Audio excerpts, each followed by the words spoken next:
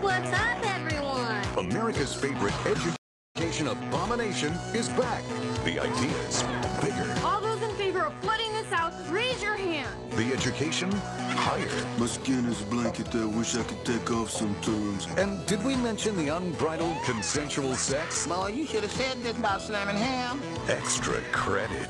Hit the camera, guys. China, Illinois. Sundays at 11:30 on Adult Swim.